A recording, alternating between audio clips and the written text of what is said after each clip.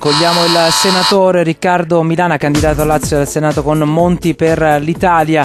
Senatore, buongiorno. Buongiorno, buongiorno. E allora, come sta andando? Io non, non, voglio fare la, la, spia, nel senso abbiamo parlato eh, col senatore Cursi del Popolo delle Libertà qualche istante fa, ma in realtà poi sono accuse che eh, reciprocamente vengono scambiate anche e lette sui giornali, sono accuse pubbliche. Di, eh, anche Cursi ha detto non, eh, non serve agli italiani votare per partitini, ho chiesto i nomi, per partitini è una sorta di, come buttare il voto e io ho detto può, può specificare a chi si riferisce, anche lui ha confermato proprio al movimento eh, che vede Monti come, come leader. Insomma, poi è... Insomma, voglio dire, io capisco eh, un po' tutto, definire questo un partitino fuori da, da, da, da, schemi, da sondaggi che non si possono dire è ridicolo, eh, definire ridicolo. La verità è che c'è da parte di esponenti del PDL la rabbia per eh, quello che hanno combinato, è andato male il governo del paese, è andato male quello della regione, va malissimo quello del comune,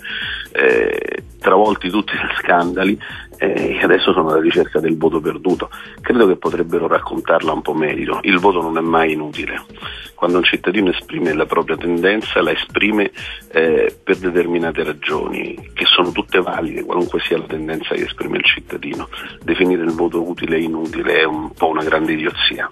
Per quanto riguarda proprio questa la, la, la, la, scelta civica di Monti, c'è la possibilità di arrivare all'alleanza eh, con, eh, con il PD? e a quel punto insomma le, le, la percentuale sarebbe come, come si è messi ad oggi perché? Voglio dire, voglio dire scusate no? intanto eh, qui c'è qualcuno che pensa che le elezioni si dovrebbero prese- vincere perché eh, gli avversari non si presentano, non in relazione alle sì, proposte, sì. alle scelte che si fanno, sì. eh, ed, è, ed, è, veramente una cosa anche ridicola. Questo lo sta facendo anche Bersani, no?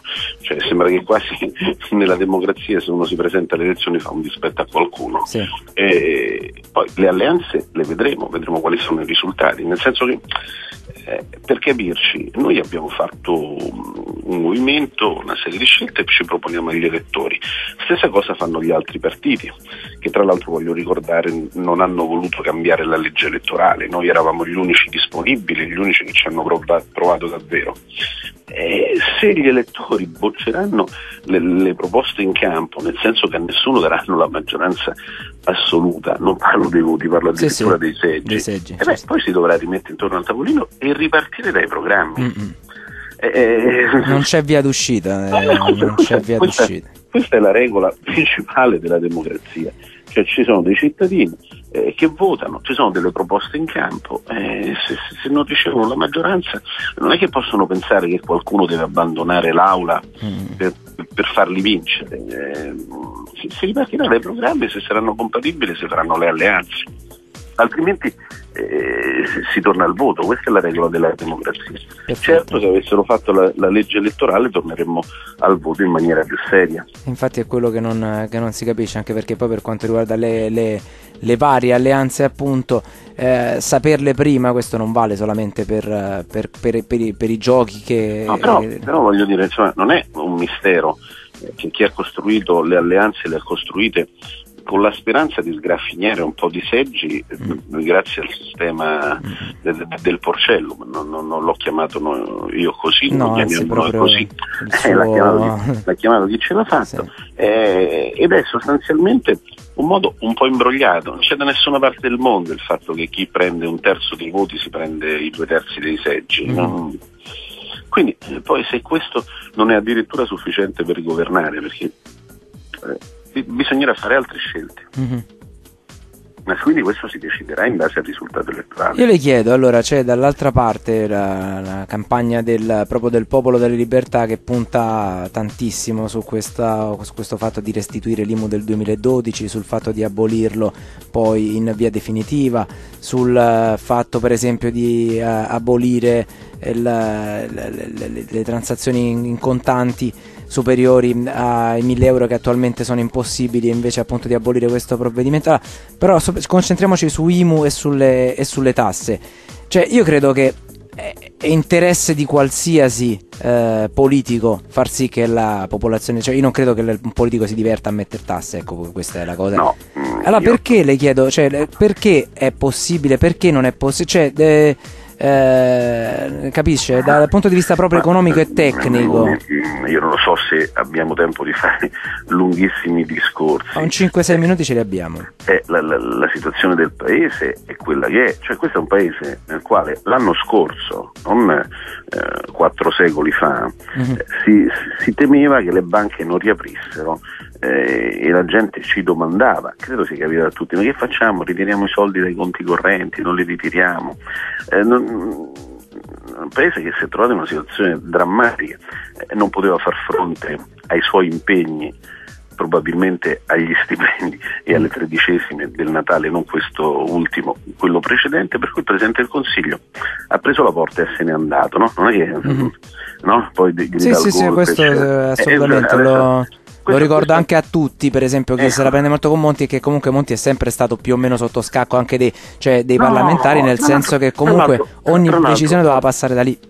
Tra l'altro voglio dire, io ho fatto il parlamentare, io ho votato insieme a tutti gli altri, non è che i provvedimenti che abbiamo preso, dolorosissimi eh, per, per, il popolo italiano, eh, li, li, abbiamo votati da soli, eravamo una quindicina al Senato, mm-hmm. eh, li hanno votati PD e PDL insieme a noi, oggi sembra che siano tutti orfani, non si può fare perché non si esce da una situazione così delicata senza un ciclo di comportamenti virtuosi. Mm. Virtuosi non vuol dire che uno deve tagliare le, ma, mm, le spese in maniera dissennata o aumentare le tasse, si esce in maniera virtuosa avendo tutta una serie di comportamenti seri.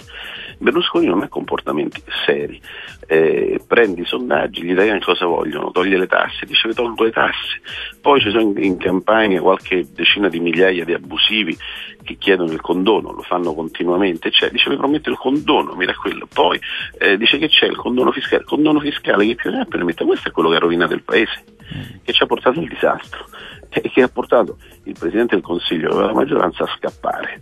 Eh, adesso facciamo finta di nulla. Eh, si possono abbattere le tasse, intanto si devono tenere sotto controllo i conti, non bisogna far salire lo spread perché lo spread costa, a Berlusconi non gliene frega niente, ma chi paga i mutui probabilmente gli frega. Eh, dobbiamo tagliare fortemente la spesa pubblica. Anche Berlusconi dice che lui taglierà la spesa pubblica per diminuire le tasse, poi si dimentica che nei dieci anni che ha governato eh, la spesa pubblica è aumentata di 154 miliardi di euro. Mm-hmm. Quindi no. non è No, è co- convincente. Una cosa che convince, forse la cosa anzi che convince, che convince meno, superata anche il fatto, la critica che per esempio Berlusconi fa a Monti, ovvero la promessa che aveva strappato al Premier di non candidarsi poi, invece Monti la, la, la, probabilmente l'ha fatto anche per eh, la richiesta però, che c'è stata. E quindi questa però voglio dire, il primo a candidarlo poi è stato lui. Esatto, infatti, infatti questa è cioè superata. Berlusconi non l'aveva candidato, no? Detto...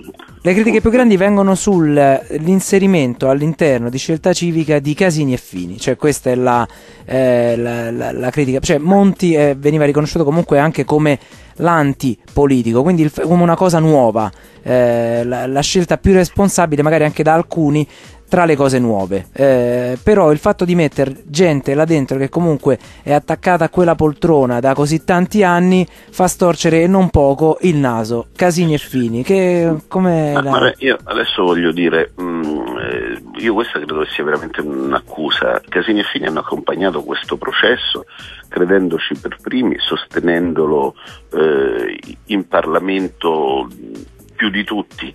Poi ad un certo punto per i capricci di Berlusconi, perché li ritiene traditori, eccetera, andavano eliminati.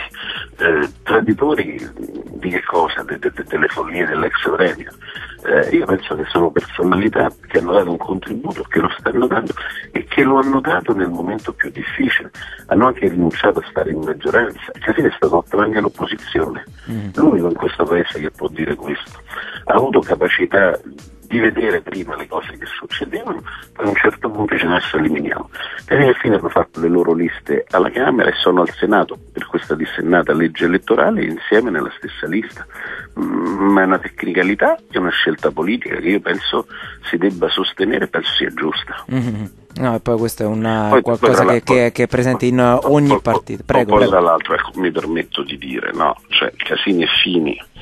Eh, Poco fa voi avete sentito il mio amico Cesare Corsi allora, perché Corsi sì e Casini Fini no, con, con tutto il rispetto eh, e con tutta l'amicizia e con tutta la stima per il presidente Corsi.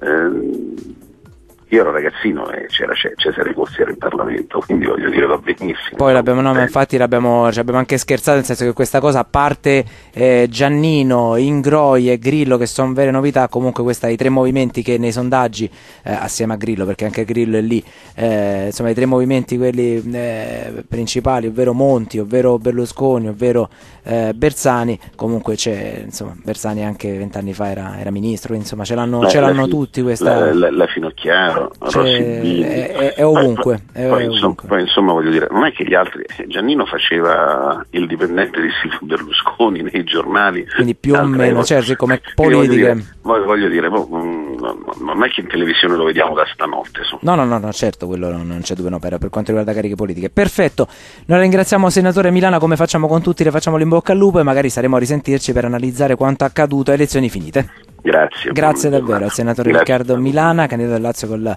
la lista scelta civica eh, per Monti, Monti per l'Italia.